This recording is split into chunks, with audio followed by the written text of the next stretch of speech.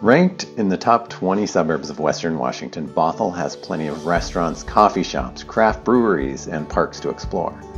Straddling the King and Snohomish County line, Bothell offers easy access to I 5 and I 405. This makes Bothell great for those working in Seattle or the East Side, but preferring a quieter suburban feel. Known for excellent education and extracurricular activities, the Northshore School District perennially ranks among the top in the state. Adding to the environment of great education are the University of Washington Bothell campus and Cascadia Community College.